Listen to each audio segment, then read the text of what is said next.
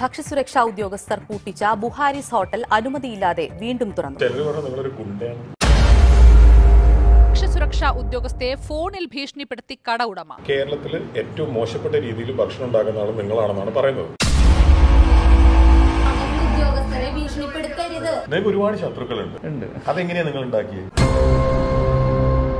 അത് ഇപ്പോൾ ഒരു ട്രെയിനിങ് ഇൻസ്റ്റിറ്റ്യൂട്ട് തുടങ്ങിയിട്ടുണ്ട്. അവിടെ കുട്ടികളെയും എത്ര പ്രായമുള്ളവരെയൊക്കെ ബിരിയാണി വെക്കാനൊക്കെ പഠിപ്പിക്കുകയാണ്. ഞാനിപ്പോൾ ഒരു കൺഫ്യൂഷനിലാണ് എല്ലാവർക്കും ലൈഫിൽ അബദ്ധങ്ങൾ പറ്റുന്നതല്ലേ? അവരതിൽ നിന്ന് തിരുത്തിയിട്ട് മുന്നോട്ട് വരാൻ തയ്യാറാണെങ്കിൽ അവർ ഒരു സെക്കൻഡ് ചാൻസ് ആഗ്രഹിക്കുന്നില്ലേ? ഞാൻ അവിടെ കാണുന്നത് നിങ്ങളെ കാണിക്കുകയാണോ വേണ്ടത്? അതോ പഴയ കാര്യങ്ങളൊക്കെ മനസ്സിൽ കണ്ടുകൊണ്ട് ഇത് വേണ്ട ഇതിന്റെ ഒരു ആവശ്യമില്ല എന്ന് തീരുമാനിക്കണം. എന്താ നിങ്ങളുടെ അഭിപ്രായം? നിങ്ങൾ ഇപ്പി കണ്ടത് ഫേസ്ബുക്കിൽ ഇൻസ്റ്റാഗ്രാമിലും യൂട്യൂബിലും ഞാൻ പോസ്റ്റ് ചെയ്ത വീഡിയോ ആണ്. നിങ്ങളുടെ അഭിപ്രായം ചോദിച്ചോളൂ. നിങ്ങൾ ആവശ്യപ്പെട്ട പ്രകാരം ഞങ്ങൾ അവിടെ പോയി ഷൂട്ട് ചെയ്ത വീഡിയോ ആണ് ഇനി വരുന്നത്. ആകാശവാണിയിലെ ദൂരദർശനിലാണെന്ന് ഓർമ്മയില്ല. പ്രേക്ഷകർ ആവശ്യപ്പെട്ട ഗീതങ്ങൾ എന്നുള്ളൊരു പ്രോഗ്രാം ഉണ്ടായിരുന്നു. അതുപോലെ നിങ്ങൾ ആവശ്യപ്പെട്ട വീഡിയോ ഇവിടെ വന്നാൽ നിങ്ങൾക്ക് ബിരിയാണി കഴിക്കാൻ മാത്രമല്ല പറ്റുക. ബിരിയാണി ഉണ്ടാക്കുന്നത് പഠിക്കാനും പറ്റും. ഒരു സ്കില്ല് അറിഞ്ഞിരിക്കുക എന്നുള്ളത് ജീവിതത്തിൽ ചില സന്ദർഭങ്ങളിൽ വല്ലാതെ ഉപകരിക്കും. ഒന്നിൽ കൂടുതൽ സ്കില്ലുകൾ അറിഞ്ഞാൽ വളരെ നല്ലത്. അപ്പോൾ ഇവിടെ വ്യത്യസ്ത നാടുകളിലെ ബിരിയാണികൾ പഠിപ്പിക്കുന്നുണ്ട്. പെട്ടെന്ന് പഠിക്കാൻ പറ്റുന്നതിന്റെ ഒരു സീക്രട്ട് എന്ന് പറയുന്നത് ഇതെല്ലാം മെഷർമെന്റ് വെച്ചിട്ടാണ് നമ്മൾ പഠിപ്പിക്കുന്നത്. ഇതിൽ ചേർക്കുന്ന ഓരോ ഇൻഗ്രീഡിയന്റും കൃത്യമായ അളവുകൾ നമ്മൾ പഠിപ്പിക്കുന്നുണ്ട്. ഈ അളവുകൾ ഉള്ളത് കൊണ്ടാണ് ഏതൊരു വ്യക്തിക്കും ചുരുങ്ങിയ ദിവസം കൊണ്ട് ഇതൊക്കെ ചെയ്യാൻ പറ്റുന്നത്. ഈ അളവ് സാധാരണഗതിയിൽ നമ്മുടെ നാട്ടിൽ എവിടെയും ബിരിയാണി അസിസ്റ്റന്റായിട്ടും ഒക്കെ പോയാലും പഠിപ്പിക്കൽ വളരെ കുറവാണ്. പിന്നെ ഇവിടെ ഏറ്റവും വലിയൊരു പ്രത്യേകത എന്ന് പറയുന്നത് പച്ചിറച്ചിയിൽ നമ്മൾ ദമ്പ് ചെയ്യും. ആ പച്ചിറച്ചിയിൽ ദമ്പ് ചെയ്യുമ്പോൾ അതിന്റെ യഥാർത്ഥത്തിലുള്ള എല്ലാ അതിന്റെ നീരും സത്തും എല്ലാ മസാലയിലേക്കും അതുപോലെ തന്നെ റൈസിലേക്കും വരും. ഇത് മൈദയ്ക്ക് പകരം വെക്കുന്നതാണ്. മൈദ വെച്ച് കഴിഞ്ഞാൽ ഒരു കിലോ രണ്ട് കിലോ വേസ്റ്റാണ് ടൈമും ഒരു അഞ്ച് പത്ത് മിനിറ്റ് അതുമ്പോൾ പോകും. അപ്പോൾ ഇത് നനച്ചിട്ട് ആ മൈദ കിട്ടുന്ന ആ പ്രഷർ നമ്മൾ ഇതിലേക്ക് വരുത്തണം ഇത് ഞാൻ ആമ്പൂർ ബിരിയാണിക്കാരൊക്കെ നടത്ത് പഠിക്കുന്നത്. പിന്നെ ആളുകൾ സ്വാഭാവികമായിട്ട് ചോദിക്കും ഈ കളറൊക്കെ നല്ലതാണോ അല്ലേ എന്നുള്ളത്? അപ്പോൾ ഇത് നാച്ചുറൽ കളറാണ് ചെമ്പരത്തിപ്പൂ ക്യാരറ്റ് ബീട്രൂട്ട് ഇങ്ങനെയൊക്കെയുള്ളതിൽ നിന്ന് എടുക്കുന്ന കളേഴ്സാണിത് ഇത്. ആയിരത്തഞ്ഞൂറോളം വിലയുണ്ട്. അപ്പോൾ നമുക്ക് ബിരിയാണിക്കൊക്കെ ആ ഒരു ചെറിയ കോസ്റ്റ് എഫക്റ്റ് ഉണ്ടാവും. പക്ഷേ നമുക്ക് കഴിക്കാം. ഡയറക്റ്റ് ഇനി കുടിക്കാം. ഈറ്റബിൾ ആണ്. ഇത് ഹെൽത്ത് ഡിപ്പാർട്ട്മെന്റ് ഒക്കെ സജസ്റ്റ് ചെയ്യുന്ന കളേഴ്സാണ് നമ്മളിവിടെ യൂസ് ചെയ്യുന്നുള്ളൂ. ഇതിന്റെ ഫ്ലേവേഴ്സ് മിക്സ് ആവില്ല ദമ്മിടുമ്പോൾ രണ്ട് ബിരിയാണി ചെയ്യുമ്പോൾ ഇല്ല ഇത് രണ്ടും രണ്ട് ടേസ്റ്റ് തന്നെ വന്ന് നിൽക്കും. ഇത് ഈ ഒരു ടെക്നിക്ക് ഞാൻ പഠിച്ചു. അതിൽ നിന്ന് ഞാൻ ഉണ്ടാക്കിയെടുത്തൊരു രീതിയാണ്. പിന്നെ വെച്ച് കഴിഞ്ഞാൽ ഒരു ചെറിയ ക്വാണ്ടിറ്റി ആണെങ്കിലും ഒരു അത്യാവശ്യം വലിയ ക്വാണ്ടിറ്റി ആണെങ്കിലും നമ്മൾ രാത്രിക്ക് ഇത് സെയിൽ കഴിഞ്ഞ് കഴിഞ്ഞാൽ രാത്രി പുതിയതാണ് ഇടുക. അപ്പോൾ ഈ രണ്ടും വീണ്ടും അതേപോലെ ചെയ്യുമ്പോൾ സെയിലിന്റെ സ്കെയിൽ അനുസരിച്ചിട്ട് മാറ്റം വരും. ആ മാറ്റം നമുക്ക് ഫ്രഷ് ആയിട്ട് തന്നെ രാത്രി സെർവ് ചെയ്യാൻ പറ്റും. നമ്മൾ രാവിലെ പച്ചിറച്ചിയാണ് ഇതിലിട്ടുണ്ടായിരുന്നത് മസാല കുഴച്ച് മാരിനേഷൻ ചെയ്ത് ഇതായിട്ട്. അപ്പോൾ അത് ഏകദേശം ഒരു ഫ്രൈ പരുവത്തിലാണ് നമുക്ക് കിട്ടുക. ഇനി ഇവിടെ നിന്നാണ് നമ്മൾ പീസുകൾ എടുത്തു പോകുള്ളൂ ഒരു കെ ജി റൈസിന് തന്നെ വൺ എയ്റ്റി റുപ്പീസ് വരുന്ന ബസുമതി പ്യുവർ പച്ചരിയാണ് ചെയ്യുന്നത്. നൂറ്റൻപത് രൂപ നൂറ്റൻപത് രൂപ. ഇന്ത്യ ഗേറ്റ് ക്ലാസിക് എന്ന് പറയും. ഒരു കിലോ ആയിരിക്കും. വൺ കെ ജി റൈസിന് കോസ്റ്റ്ലി ആണ് അതുപോലെ ടേസ്റ്റും അതുപോലെ തന്നെ ഉണ്ടാവും. അരിയും മസാലയുടെ കളറും എല്ലാം വേറെയാണല്ലേ? അതെ ഇതിനുള്ള സ്പൂണുകളൊക്കെ കൃത്യമായിട്ട് ഉപയോഗിച്ചില്ലെങ്കിൽ ദം ബിരിയാണി ആയ കാരണം അത് പൊടിഞ്ഞു പോകും ചിക്കനൊക്കെ അപ്പോൾ ഓരോ സ്പൂണുകൾ അനുസരിച്ചിട്ട് നമ്മൾ കറക്റ്റായിട്ട് ചെയ്യണം. എത്ര തിരക്കുണ്ടെന്ന് പറഞ്ഞാലും കൃത്യമായിട്ട് വിളമ്പെങ്കിൽ മാത്രമേ ഇത് ക്ലിയർ ആയിട്ട് ചെയ്യാൻ പറ്റുള്ളൂ. ഇത് ജീര റൈസാണ് നോർമലായിട്ട് ഉപയോഗിക്കുന്നത്. അതിലേറ്റവും ക്വാളിറ്റി ഉള്ള റൈസാണ് നമ്മൾ യൂസ് ചെയ്യാറ്. ഇതിന്റെ ഫ്ലേവർ റൈസുകളൊക്കെ അല്ലേ? അത് ഏറ്റവും മുകളിലുണ്ടാവുക.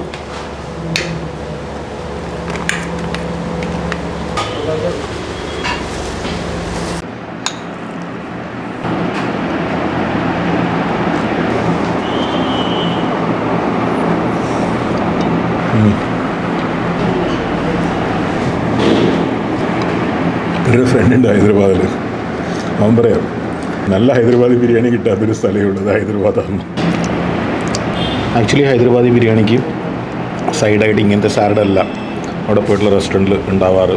പക്ഷേ ഇത് കേരളമാണല്ലോ. ഇവിടെ ഇങ്ങനെയാണല്ലോ ഹൈദരാബാദിൽ ഞാൻ എത്രയോ തവണ പോയിട്ട് ഒരുപാട് റെസ്റ്റോറന്റുകൾ ബിരിയാണി കഴിച്ചിട്ടുണ്ട്. ഒരുപാട് ഫേമസ് റെസ്റ്റോറന്റുകളുണ്ട് പണ്ട് വളരെ കുറച്ച് ഫേമസ് റെസ്റ്റോറന്റുകളെ ഉണ്ടായിരുന്നുള്ളൂ പക്ഷേ എന്തോ ഒരു ഒരു കല്യാണത്തിനൊക്കെ പോയി കഴിക്കുന്ന ബിരിയാണിയുടെ ഒരു സാറ്റിസ്ഫാക്ഷൻ അവിടെ കിട്ടാറില്ല. ഇങ്ങനെ ഒരു ബിരിയാണി ഒരാൾ ഒരാഴ്ച കൊണ്ട് പത്ത് ദിവസം കൊണ്ട് പഠിച്ചിട്ട് ഉണ്ടാക്കുന്നുണ്ടെങ്കിൽ അതൊരു സംഭവം തന്നെയാണ് തൽക്കാലം ഹൈദരാബാദ് മാറിയപ്പോൾ തലശ്ശേരി വരട്ടെ. ഇത് ഹാഫ് ബിരിയാണിയാണ്. ഇതിന്റെ ഫുൾ ബിരിയാണി ചിക്കൻ ഫ്രൈ മുട്ട. എല്ലാം കൂടെ ഇരുന്നൂറ് രൂപയാണ്.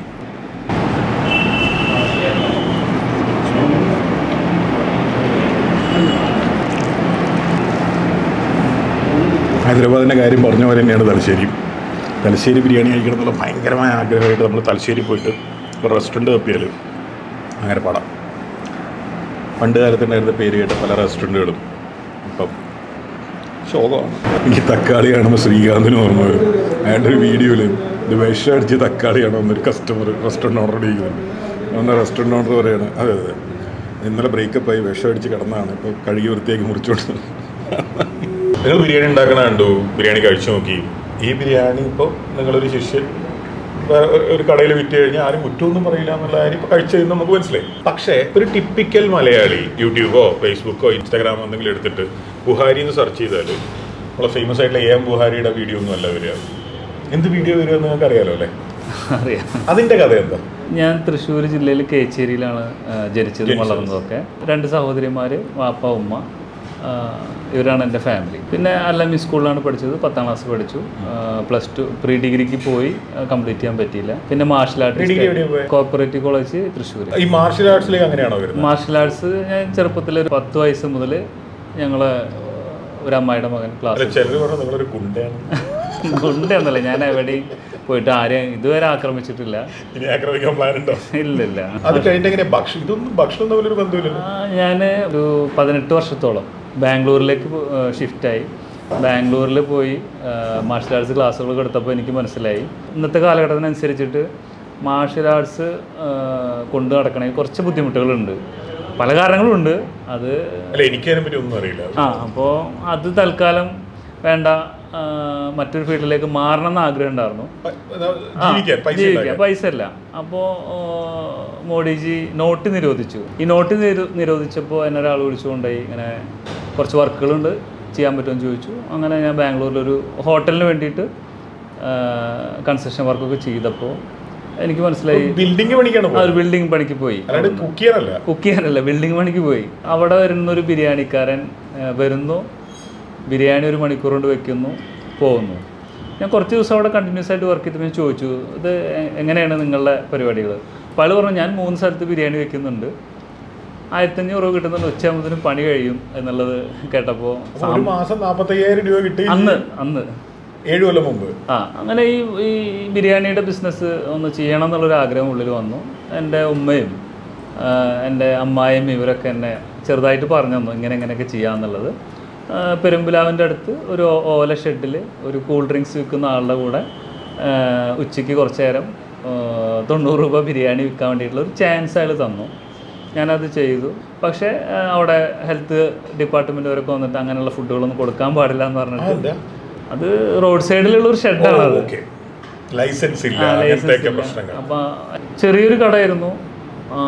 അറിയിക്കുന്നതിനേക്കാൾ വലിയൊരു വിജയമാണ് അവിടെ വന്നത്. കാരണം? ഭക്ഷണം നല്ലതായതുകൊണ്ട് തന്നെയാണ്. കാരണം ഞാൻ എപ്പോഴും റെസിപ്പി ഞാൻ പഠിച്ചതല്ല ഞാൻ പ്രവർത്തിച്ചിട്ടുള്ളത്. ഞാൻ പല സ്ഥലത്തുനിന്ന് ബിരിയാണികൾ പഠിച്ചെങ്കിലും ടോപ്പ് എന്ന് പറയുന്നത് ഹൈദരാബാദി ബിരിയാണി പഠിച്ചപ്പോൾ എനിക്ക് മൊത്തത്തിൽ ബിരിയാണിയുടെ ഒരു കൾച്ചർ എങ്ങനെ ഇതെങ്ങനെയാണ് നമ്മുടെ നാട്ടിലേക്ക് വന്നതെന്നുള്ളത് മനസ്സിലായി. അത് വെച്ചിട്ട് പല ടൈപ്പ് ഓഫ് ബിരിയാണി പഠിച്ചപ്പോൾ എനിക്ക് മനസ്സിലായി. ഇതിന്റെ ഉള്ളിൽ പല കാര്യങ്ങളും മാറ്റി കഴിഞ്ഞാൽ ഒരാൾക്ക് കഴിച്ചാൽ നല്ല ടേസ്റ്റ് ആയിരിക്കും നല്ല ക്വാളിറ്റിയിലും കൊടുക്കാൻ പറ്റും എന്നുള്ളത് ഞാൻ മനസ്സിലാക്കി. പക്ഷെ അത് ഞാൻ മറ്റുള്ള ആളുകൾക്ക് വേണ്ടി പ്രയോഗിക്കുക മാത്രം മാത്രം ചെയ്തിരുന്നത്. കൊറോണ ആയിട്ട് ഡിസ്ട്രിക്ട് പോലും ഇടാൻ പറ്റാതായപ്പോൾ ഉപജീവന മാർഗം ഇല്ലാണ്ടായപ്പോൾ ഒരു കട ചെയ്തു നോക്കിയതാണ് കേച്ചേരിയിൽ അത് ഞാൻ അറിയിക്കുന്നേക്കാൾ പത്തിരട്ടി വേഗത്തിലാണ് അതിന്റെ ഗ്രോത്ത് ഉണ്ടായത്. ആ പ്രദേശത്തൊന്നും വേറെ കടകളൊന്നും എന്റെ കടയുടെ നേരെ മുമ്പിൽ തന്നെ മെയിൻ റോഡിൽ അറഫ എന്ന് പറഞ്ഞിട്ടൊരു ഹോട്ടലുണ്ട്. അവിടെ സ്ഥലമാണ്? റെസ്റ്റോറന്റ് ഫുൾ റെസ്റ്റോറന്റ് ആണ്. കോവിഡ് കാരണം ഒന്നും ഒന്നും ചെയ്യാൻ പറ്റാത്തൊരു സിറ്റുവേഷനിൽ അന്നന്നത്തെ കാര്യം നടക്കാൻ വേണ്ടി തുടങ്ങിയ ഒരു സംഭവം. അതെ അതെ അതെ ഉപജീവന മാർഗം വേറെ ഉദ്ദേശമൊന്നും ഉണ്ടായിരുന്നു വേറെ ഒരു ഉദ്ദേശമില്ല നിങ്ങൾ ഒത്തിരി വളരെയധികം സക്സസ് ആയി. എന്നിട്ട് നിങ്ങൾ അത് കുറച്ച് വലുതാക്കി. വലുതാക്കാൻ വേണ്ടിയിട്ട് സ്ഥിരമായിട്ട് പ്രപ്പോസൽ വന്നു. പിന്നെ ഞാൻ വേറൊരാളുടെ ഹോട്ടലിൽ ഉണ്ടായിരുന്നത് എടുത്തതാണ്. ഓവർ ക്രൗഡായപ്പോൾ എന്റെ കുക്കിങ്ങോ മറ്റുള്ളതൊക്കെ ചെയ്യുമ്പോൾ എന്റെ ഡ്രെയിനേജ് വെള്ളം അങ്ങനെ അതൊന്നും പോകാനുള്ള ഫെസിലിറ്റി ഇല്ലാത്തൊരു സാഹചര്യമായി. കാരണം അവിടെ ആ സ്ഥലത്തിന് താങ്ങുന്നതിനേക്കാൾ കൂടുതൽ ക്രൗഡാണ് അവിടെ എപ്പോഴും ഉണ്ടായിരുന്നത് എത്ര സീറ്റ് ഉണ്ടായിരുന്നു? അതൊരു ഏകദേശം നൂറിന്റെ അടുത്ത് വരെ സീറ്റ് സെറ്റ് ഒരുപാട് ഇൻവെസ്റ്റ്മെന്റ് അതെ. ഒരു മുപ്പത് ലക്ഷം രൂപയുടെ അകത്ത് വന്നിട്ടുണ്ട്. മുപ്പത് ലക്ഷം രൂപ ഒന്നാമത്തെ കടയിൽ നിന്ന് കിട്ടിയ ലാഭമാണ്? എനിക്ക് ഒന്നാമത്തെ കടയിൽ നിന്ന് കിട്ടിയത് ഒരു ആറര ലക്ഷം രൂപ ലാഭമാണ്. നാല് മാസമാണ് ഞാൻ നടത്തിയത്. നാല് മാസം കൊണ്ട് ആറ് ലക്ഷം കിട്ടി. ലാഭം എനിക്ക് കിട്ടി. ഇതിന്റെ സക്സസ് കണ്ടപ്പോൾ എന്റെ കുഞ്ഞിപ്പാട മകൻ എന്റെ ഉമ്മ വാപ്പ എന്റെ അളിയൻ അന്നത്തെ ഉള്ളവരെല്ലാം എന്തൊക്കെ ഉണ്ടവരെ കയ്യിൽ അതൊക്കെ കൊടുന്നു തന്നിട്ട് നമുക്ക് എല്ലാവർക്കും കൂടിയിട്ടൊരു സംരംഭം. ഒന്നാമത്തെ കടയുടെ അതേപോലെ സക്സസ് ഇതിനുണ്ടായോ? അത് അതിനേക്കാൾ ഭയങ്കര സക്സസ് ആയിരുന്നു. പ്രീമിയം കസ്റ്റമേഴ്സ് ഞങ്ങൾ ആദ്യത്തെ കടയിൽ അങ്ങനെ വന്നിരുന്നില്ല. പലരും ബി എം ഡബ്ല്യു പോലത്തെ വലിയ കാറുകളിലൊക്കെ വന്നിട്ട് ഓ ഇതിനകത്താണോ ഈ പറഞ്ഞ കട? എന്ന് പറഞ്ഞിട്ട് ആളുകൾ തിരിച്ചു പോയിട്ടുണ്ട്. കാരണം അതിനകത്തേക്ക് കയറാനുള്ള അത്രയും ചെറിയൊരു കടയാണ്. രണ്ടാമത്തെ കട വന്നപ്പോൾ ഞങ്ങൾക്ക് ഒരു പ്രീമിയം കസ്റ്റമറും കൂടി വരാൻ തുടങ്ങി. ഞങ്ങൾ ഭക്ഷണം ഉണ്ടാക്കിയത് ഓപ്പൺ ചെയ്താൽ അടയ്ക്കുന്ന വരെയും ഓക്കെ തിരക്കന്നായിരിക്കും ഇതുവരെ കുഴപ്പങ്ങളൊന്നുമില്ല. സോഷ്യൽ മീഡിയയിൽ ആ. കേരളത്തിൽ ഏറ്റവും മോശപ്പെട്ട രീതിയിൽ ഭക്ഷണം ഉണ്ടാക്കുന്ന ആൾ നിങ്ങളാണെന്നാണ് പറയുന്നത്. അത് സാധിച്ചെടുത്ത് എങ്ങനെയാണ്? എന്റെ കേച്ചേരി കട രണ്ടാമത് ഞാൻ റീസ്റ്റാർട്ട് ചെയ്യുമ്പോൾ അതിന്റെ ഒപ്പം തന്നെ മണ്ണുത്തിയിൽ ബോബി ചമ്മണ്ണൂരൊക്കെ വന്ന് ഉദ്ഘാടനം ചെയ്തിട്ട് എന്റെ പേര് ദുരുപയോഗം ചെയ്തിട്ട് കൃഷ്ണ ബുഹാരിസ് എന്ന് പറഞ്ഞിട്ട് വേറൊരു ടീം തുടങ്ങി. അത് റെസ്റ്റോറന്റ് തുടങ്ങി. റെസ്റ്റോറന്റ് തുടങ്ങി.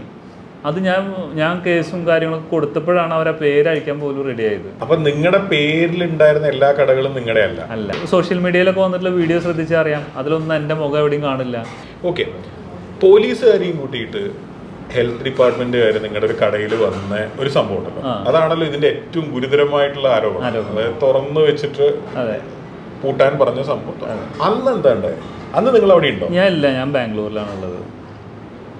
ഏ അപ്പൊ നിങ്ങൾ നിങ്ങളപ്പോ ഈ കട നടത്തുന്നില്ലേ? അല്ല എന്റെ പേരിലാണ് ആ കട നടക്കുന്നത് തൃശ്ശൂരിൽ ക്രിസ്റ്റോ എന്ന് പറഞ്ഞ ഒരു സുഹൃത്താണ് ആ കട നടത്തിയിരുന്നത്. നിങ്ങളുടെ കട പൂട്ടിയെന്നല്ലേ വാർത്ത?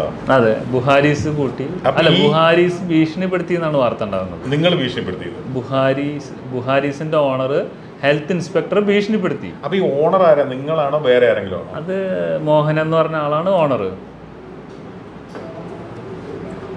അപ്പൊ നിങ്ങളുടെ അല്ലേ ഈ കട? അല്ല എന്റെ അല്ല മോഹൻ എന്ന് പറഞ്ഞ ആളാണ് ഓണർ ഇതിന്റെ ലൈസൻസിൽ നിങ്ങളുടെ പേരുണ്ടോ? അല്ല മോഹനന്റെ പേരിലാണ്. ഈ മോഹൻ എന്ന് പറയുന്ന ആളുടെ റെസ്റ്റോറന്റ് നിങ്ങൾ എന്താ ചെയ്തേ? അല്ല അയാളുടെ restaurant- അതെ റെസ്റ്റോറന്റ് കുറെ അബാദ് എന്ന് പറഞ്ഞാൽ തൃശ്ശൂരിലെ പഴയ ഒരു ഫേമസ് സ്പോട്ട് ആയിരുന്നു അത്. ബിരിയാണിക്കൊക്കെ.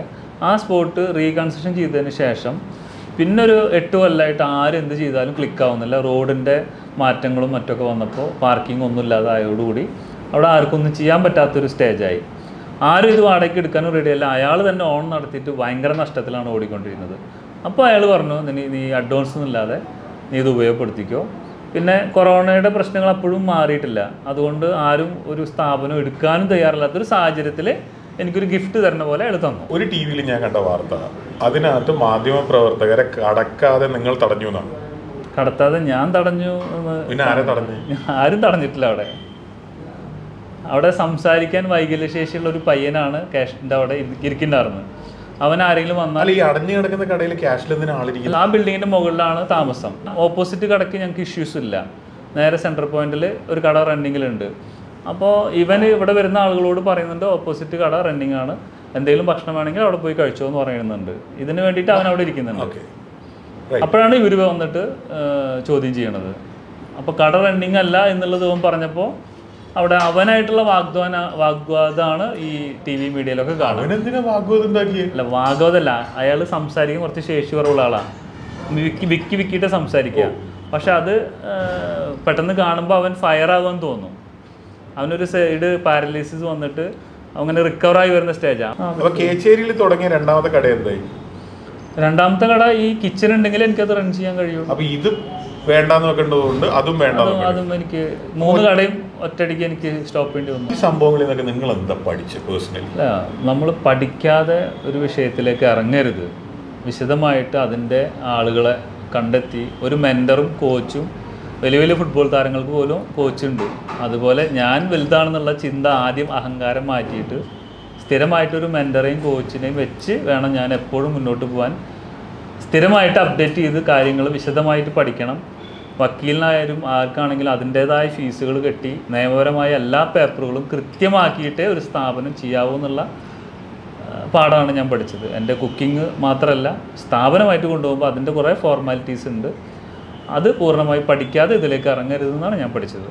ഇനി പഠിപ്പിക്കലിലേക്ക് വരാൻ എന്താ കാരണം? ഞാൻ വെക്കുന്ന നല്ല ഭക്ഷണം അത് ശരീരം കേടുവരാത്ത രൂപത്തിലുള്ള ഭക്ഷണമാണ് ഞാൻ പരമാവധി എനിക്ക് പറ്റാവുന്ന രീതിയിൽ ഞാൻ അതിന്റെ ഇൻഗ്രീഡിയന്റ് മാർക്കറ്റിൽ നിന്നാണെങ്കിൽ നല്ലത് വാങ്ങിച്ച് മാത്രമേ ചെയ്യാറുള്ളൂ. ഞാൻ മനസ്സിലാക്കിയ മാർക്കറ്റിലെ ഏറ്റവും കൂടുതൽ അത്യാവശ്യം ഒരുപാട് ആളുകൾ ഇതിൽ സ്ട്രഗിളാണ് നല്ല ഭക്ഷണത്തിന് വേണ്ടിയിട്ടും കൺസിസ്റ്റൻസിയിൽ ഇത് വെക്കാനുള്ള ആളുകൾ കിട്ടാത്തതും ഒക്കെ ആയിട്ട് വലിയൊരു വിഷയം ഇതിനകത്ത് നടക്കുന്നുണ്ട്. അതിനെ സോൾവ് ചെയ്യലാണ് എന്റെ കർമ്മം എന്നാണ് ഞാൻ കഴിഞ്ഞ കാലങ്ങളിൽ കൂടുതൽ പഠിച്ചപ്പോൾ മനസ്സിലാക്കിയത്. വർഷങ്ങളോളം വലിയ വലിയ ബിരിയാണി പേര് കേട്ട ബിരിയാണി ഷെഫുമാരുടെ കൂടെ നിന്ന് ബിരിയാണി പഠിച്ചെടുത്ത കഥകളാണ് നമ്മൾ കേട്ടിട്ടുള്ളത്. നിങ്ങൾ എങ്ങനെയാണ് ആര് വേണേലും വന്നോളൂ. നിങ്ങളുടെ പ്രായം പ്രശ്നമല്ല ആണോ പെണ്ണോ എന്നുള്ളത് പ്രശ്നമല്ല ഒന്നും പ്രശ്നമല്ല. ഞാൻ പത്ത് ദിവസം കൊണ്ട് പഠിപ്പിക്കാൻ നിങ്ങൾ എങ്ങനെയാണ് പറയുന്നത്? ഒരു രാവിലെ ആറു മണി മുതൽ പത്ത് മണിക്കുള്ളിൽ ഇതെല്ലാം ചെയ്യാവുന്ന രൂപത്തിൽ മൂന്ന് മണിക്കൂറിനെ സ്പ്ലിറ്റ് ചെയ്തിട്ട് എല്ലാം എന്ന് പറഞ്ഞാൽ എന്തൊക്കെയാണ്? മൊത്തത്തിൽ ഒരു രണ്ടോ മൂന്നോ ടൈപ്പ് ബിരിയാണി മന്തി. അത് ബേസിക് പിന്നെ ഒരു സ്റ്റാഫിനോ അല്ലെങ്കിൽ അവിടെ കൊടുക്കാനോ ഉള്ള ഒരു ചെറിയൊരു മിനി മീൽസ് ഇതാണ് ഒരു ഒരു മിനിമം കോഴ്സ് വരുന്നത്. അത് രാവിലെ ആറ് മണി വന്നാൽ അയാൾ എവിടെ നിന്ന് തുടങ്ങി? ആദ്യം എന്ത് ചെയ്യണം? ഏത് അരി ആദ്യം എടുക്കണം? എന്ന് മുതലുള്ള ഒരു ടൈം ട്രാക്കും അതുപോലെ ഇതിന്റെ ഒരു കൃത്യമായിട്ടുള്ള മെഷർമെന്റ് സ്കെയിലിങ്ങും ആ സ്കെയിലിങ്ങും ഈസി ആയിട്ട് ഒരാൾക്ക് ഒരു വീട്ടിലൊരു മാഗിയൊക്കെ ഉണ്ടാക്കുന്ന അത്രയും ലളിതമാക്കിയിട്ടാണ് ഞാൻ സിലബസ് ഉണ്ടാക്കി വെച്ചിട്ടുള്ളത്. അപ്പോൾ ഒരു മിനിമം നോളജുള്ള ആർക്കും നൂറ് ഗ്രാം ഉപ്പ് ഒരു ലിറ്റർ വെള്ളം ഇങ്ങനെ ഇട്ട് കഴിഞ്ഞാൽ ഇത് കറക്റ്റായിട്ട് വരും. ആ രീതിയിൽ ഇഞ്ചി ആണെങ്കിലും വെളുത്തുള്ളി ആണെങ്കിലും ഒക്കെ എല്ലാത്തിനും കൃത്യമായ അളവ് ഉണ്ടാക്കി വെച്ചിരിക്കുകയാണ്. പിന്നെ കൃത്യമായ സമയം. ഈ രണ്ട് കാര്യം ഒരു സാമാന്യ ബുദ്ധിയുള്ള ഒരാൾക്ക് മനസ്സിലായി കഴിഞ്ഞാൽ വളരെ സിമ്പിളായിട്ട് ചെയ്യാൻ പറ്റും. ഒരു സെക്കൻഡ് അതായത് മൂന്ന് മണിക്കൂർ കൊണ്ട് നിങ്ങൾ പഠിപ്പിച്ചു വിടുന്നൊരു ആൾ ഒരു റെസ്റ്റോറന്റിൽ മൂന്ന് തരം ബിരിയാണി മീൽസ് ഉണ്ടാക്കും. മന്തിയും പ്ലസ് മീൽസിലേക്ക് കടക്കും. മൂന്ന് തരം ബിരിയാണി മന്തി ആൻഡ് മീൽസ് ഉണ്ടാക്കും. ബേസിക്കലി ഇത് നിങ്ങളുടെ സെക്കൻഡ് ചാൻസ് ആണ്. ഈ പ്രശ്നങ്ങളും കാര്യങ്ങളെല്ലാം കഴിഞ്ഞിട്ട് നിങ്ങൾ ആ സംഭവങ്ങൾ അവിടെ വെക്കുന്നു. നിങ്ങൾ ഈ പഠിപ്പിക്കലിലേക്കും കുട്ടികളെ ട്രെയിൻ ചെയ്യലിലേക്കും നിങ്ങൾ മാറും അല്ലേ. നിങ്ങൾ ഈ പഠിപ്പിക്കുന്ന കുട്ടികളില്ലേ? അവരുടെ ബാക്ക്ഗ്രൗണ്ട് എന്താ? അവർക്കും ഇതൊരു സെക്കൻഡ് ചാൻസ് ആണല്ലോ അല്ലേ അതെ അതിൽ പല ആളുകളും പല കിച്ചനുകളിലും വർഷങ്ങളായിട്ട് ചെറിയ ശമ്പളത്തിന് ജോലി ചെയ്ത് അവർ ജീവിത നിലവാരം ഉയർത്താൻ പറ്റാത്തൊരവസ്ഥയും അതുപോലെ ഒരു ഹോട്ടൽ മാനേജ്മെന്റ് കോഴ്സ് മറ്റൊക്കെ പഠിക്കുകയാണെങ്കിൽ വർഷങ്ങളും അതിനുള്ള സാമ്പത്തികം വേണം. അങ്ങനെ ഉള്ള ആളുകൾ സ്ട്രഗിൾ ചെയ്യുന്ന ആളുകളും അതുപോലെ തന്നെ ഒരു ചെറിയ കട സ്വന്തമായിട്ട് ചെയ്താൽ വിജയിപ്പിക്കാൻ വേണ്ടിയിട്ട് പല സ്ഥലത്തും കയറി ഇറങ്ങിയിട്ട് പല സംരംഭം നോക്കി പൊട്ടി നിൽക്കുന്ന ആളുകളൊക്കെ ഉണ്ട്. ഇവർക്ക് എന്റെ ഈ ഐഡിയോളജി യൂസ് ചെയ്ത് കഴിഞ്ഞാൽ നൂറ് ശതമാനം വിജയിക്കാൻ പറ്റും. അപ്പൊ ഇവർ വർഷങ്ങൾ കിച്ചണിൽ ജോലി ചെയ്തിട്ടുള്ളവരാണ് ചിലരൊക്കെ. ചിലൊരു അഞ്ചും പത്തും വർഷമൊക്കെ ജോലി ചെയ്തിട്ട് പിള്ളേരല്ല പയ്യന്മാരല്ല.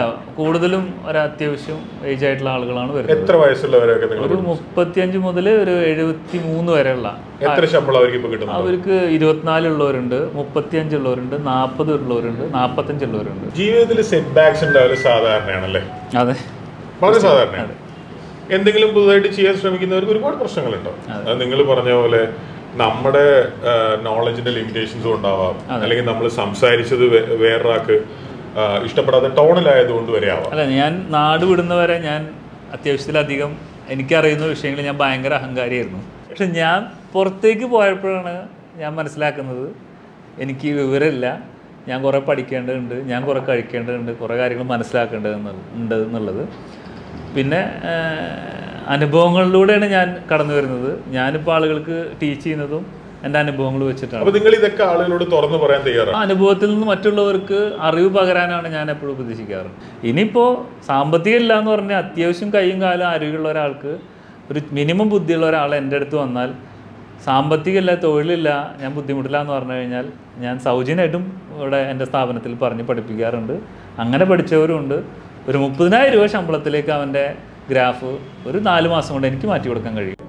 ഭക്ഷണ മേഖലയിൽ പ്രത്യേകിച്ച് ബിരിയാണിയുടെ ഫാസ്റ്റ് ട്രാക്ക് കോച്ചിങ് ആണ് എൻട്രി കിച്ചൺ ഈ സ്ഥാപനത്തിൽ ഇവിടെ നടക്കുന്നത്.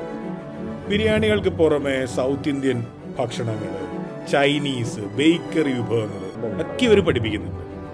ഇതിൽ വേഗത്തിൽ എല്ലാ ദിവസവും കൃത്യമായ രുചിയോടുകൂടി ഭക്ഷണം ഉണ്ടാക്കാനുള്ള biryani fast track training technology ബുഹാരിയാണ് കണ്ടുപിടിച്ചത്. അത് അദ്ദേഹം തന്നെയാണ് പഠിപ്പിക്കുന്നത്. ഇതിൽ മൂന്ന് ദിവസം കൊണ്ട് പഠിക്കാവുന്ന കാര്യങ്ങളുണ്ട് ഏഴ് ദിവസം കൊണ്ട് പഠിക്കാവുന്ന കാര്യങ്ങളുണ്ട് പരമാവധി ഇരുപത്തൊന്ന് ദിവസം കൊണ്ട് ഈ പറയുന്ന എല്ലാം പഠിക്കാം. പതിനായിരം രൂപ മുതൽ മുപ്പതിനായിരം രൂപ വരെയാണ് ഫീസ്. ബുഹാരി ജോലി ചെയ്യുന്ന സ്ഥാപനമാണിത്. അപ്പം അദ്ദേഹത്തിന്റെ കൂടെ നിന്ന് തന്നെയാണ് നിങ്ങൾ ഇതൊക്കെ പഠിക്കുന്നത്. ഒരുപാട് പേർക്ക് ഇത് പ്രയോജനപ്പെടും. പാചക മേഖലയിൽ ജോലി ചെയ്യുന്നവർക്ക് ഹോട്ടൽ നടത്തുന്നവർക്ക് ലാഭമില്ലാതെ റെസ്റ്റോറന്റ് നടത്തി ബുദ്ധിമുട്ടിലായിട്ടുള്ളവർക്ക് പുതുതായിട്ട് റെസ്റ്റോറന്റ് നടത്താൻ ആഗ്രഹിക്കുന്നവർക്ക് കാറ്ററിംഗ് അടക്കമുള്ള ഭക്ഷണ മേഖലയിലേക്ക് വരാൻ താല്പര്യപ്പെടുന്നവർക്ക് ഇന്നുള്ള സ്റ്റാഫ് നാളെ ഉണ്ടാവുമോ എന്നൊക്കെ പേടിച്ച് റെസ്റ്റോറന്റ് നടത്തുന്ന ആൾക്കാർക്ക് ഒരുപാട് പേർക്ക് ഇത് പ്രയോജനപ്പെടും. സ്ഥാപനത്തിന്റെ അഡ്രസ്സും ഫോൺ നമ്പറും ഡിസ്ക്രിപ്ഷനിലുണ്ട് താല്പര്യമുള്ളവർക്ക് ബന്ധപ്പെടാം. അല്ലെങ്കിൽ ഡിസ്ക്രിപ്ഷനിൽ ഒരു ലിങ്ക് ഉണ്ട്. അതിൽ നിങ്ങളുടെ ഡീറ്റെയിൽസ് കൊടുത്തു കഴിഞ്ഞാൽ അവർ നിങ്ങളെ ബന്ധപ്പെടും.